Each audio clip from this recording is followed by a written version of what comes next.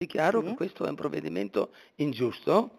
e che adesso la parola passerà agli avvocati e dopo il tempo è onesto e dirà chi ha ragione. Concede poche parole l'imprenditore Paolo Fassa, storico titolare dell'azienda trevigiana di Calcestruzzi, patrono dell'omonima squadra di ciclismo indagato per frode fiscale e autoriciclaggio in un'inchiesta dei PM milanesi Paolo Storari e Giordano Baggio. I finanzieri del comando provinciale di Milano hanno eseguito il sequestro preventivo emesso dalla Procura della Repubblica milanese di uno yacht di lusso ormeggiato al porto di Genova e battente bandiera britannica, oltre a un milione e mezzo di euro circa depositati sui conti correnti societari e personali nei confronti dell'imprenditore. Le indagini, grazie ad un'attività in cui la Guardia di Finanza ha lavorato in tandem con l'Agenzia delle Entrate, hanno fatto emergere un complesso meccanismo di frode fiscale che sarebbe stato posto in essere mediante il ricorso a false fatturazioni di prestazioni pubblicitarie e funzionale alla commissione di condotte di autoriciclaggio attraverso l'interposizione di società straniere. Nel corso delle attività sarebbe emerso che gli indagati, grazie alla complicità di un sodalizio composto da professionisti